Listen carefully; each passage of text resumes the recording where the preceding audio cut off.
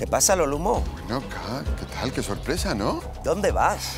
A dar una vuelta. Ya. Una vuelta bien larga, ¿eh? Se lleva maleta y todo. Eh, ya, bueno, pero esto es, es que quiero ir a ver a mi madre. Está tan sola ahí arriba en su nave espacial. Pero es que no puedes irte, Lolumo. Estás castigado. Pero si solo van a ser unos días. Ya. Mientras tus amigos destruyen el planeta, ¿no?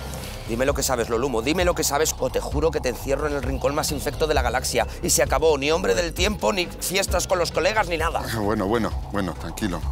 Sí que sé que salió un hombre el otro día de Oregón sin permiso, pero ha vuelto.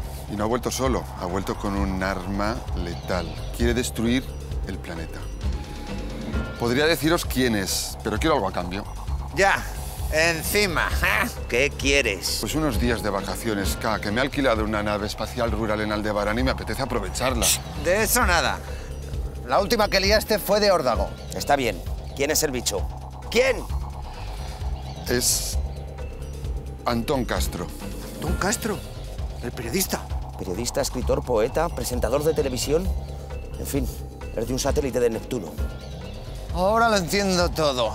Está bien, Lolumo. En breve recibirás tu pasaporte interestelar. Francho, localízame a Antón Castro. Gracias. Va hacia la iglesia de Santa Mónica. ¿La del ovni? ¿Por qué te crees que la llaman así? No sé. En realidad es una nave interestelar. Si está yendo hacia allí, es porque quiere escapar o planea algo chungo. Vamos a por él.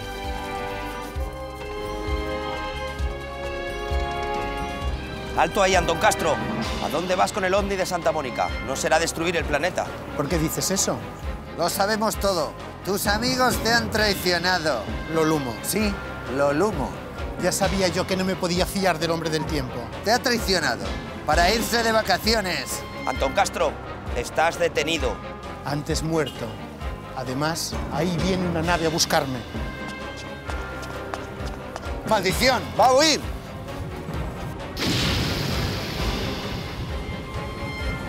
¿Preparado? Una, dos y tres.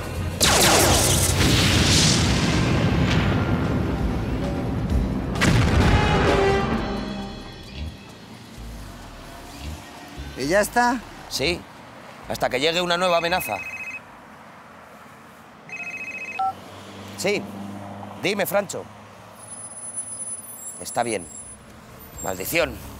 Juan Aguirre ha enloquecido. Dice que está harto de ser el secundario de su grupo y que quiere destruir la Tierra. Así que, adelante.